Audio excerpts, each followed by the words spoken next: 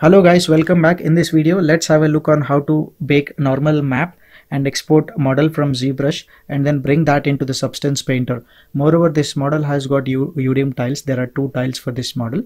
So I'll be showing the process of ZBrush to Substance Painter workflow, which can generally help you painting further.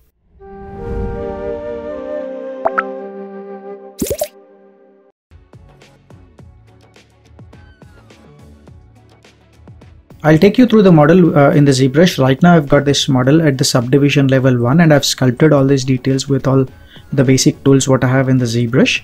And I'll switch this to the subdivision level 1 and I'll enable the wireframe here so that you could see the UV panels here.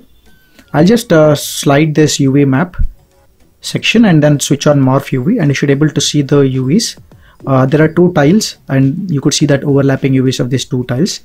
Enable this uh, subdivision level 7 and I'll open the multimap exporter from the Z plugin. And uh, in multimap exporter, you have normal and you have export mesh both options. So I, I have to export these two, you know, maps and geometry. Uh, the first thing is uh, I should just uh, change the file names here. Uh, here you could see UV tile ID format is UDIM. If you click, it keeps changing. So I'm expecting the UDIM format here for the file names. So I'll just go to the normal map here and uh, I want to slide this to the subdivision level 1 and uh, what it generally does is the details of the seventh subdivision level are transferred to the subdivision level 1 if you have picked this as subdivision level 1. So we have smooth UV option and smooth normal option. I'm going to switch this both options on. We have adaptive. I'm using that also. Then we have tangent, uh, tangent space normal.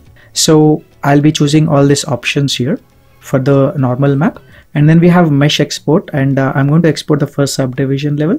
I don't want the triangulated model I want a quad model.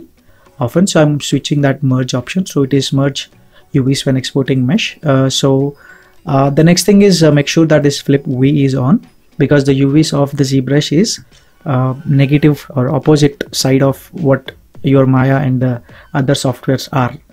So I need to flip the UVs uh, and the texture at which I want to bake is the 4K okay so once I have done all that I'll just hit the create all maps name that file okay? So I just want to name it as frog 01 and then just when I hit save it bakes the map.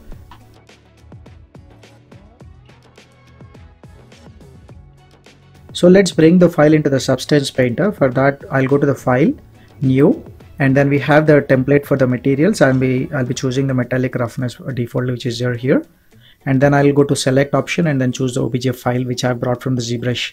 So once that is done, I'm picking the 4K resolution here and uh, then I'm going to pick, uh, keep everything default there and then say OK. So I've got the model here which has got uh, no details of what we have done in the ZBrush. So what I'm going to do is I'm going to import that file into the Substance Painter. So this is the browser from where I'm going to select the first image of this uh, UDIM tile. I have two uh, tiles actually. One is 1001 and 1002 so I'm going to select the first one and I'll just drop that into the project here.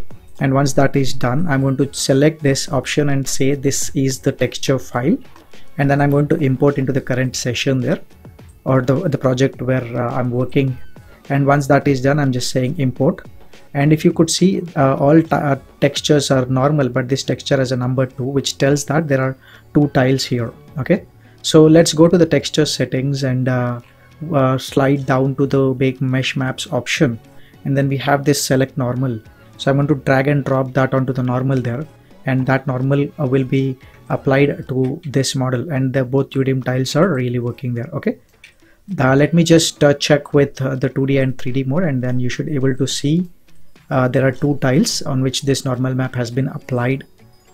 And right now I could not able to see here but yeah it's there so what i'm going to do now is i'm going to choose the bake mesh options okay? And then uh, i'll just choose the output size to 4k for baking the texture. Uh, normal map i'm going to switch it off but i'll go to the curvature here and then you should be able to see curvature should be generated from the mesh or from the normal map. And i'm choosing from the normal map here. And there are a few options you can play around with those options for suitable results uh, in your uh, case but i'm leaving this to the default and then I'm going to hit the bake selected textures option. So this will bake texture maps, which are basically the position map, the thickness map, the curvature map, ambient occlusion map, which are going to help us in the procedural texturing of the substance painter. Now let me just uh, go to this uh, texture and then have a preview of all the textures. You should be able to see the ambient occlusion has got the details of that. You got the curvature map. Uh, it has, uh, you know, uh, identified all that cavities and all that stuff. And then uh, you could able to see the position, the thickness, the normal, and the world space. So once that is done, you can start working on texturing guys i've made a lot of videos on substance painter topic and it's put in the playlist and you can check that playlist here and also i request you to subscribe the channel for more such content and please support the channel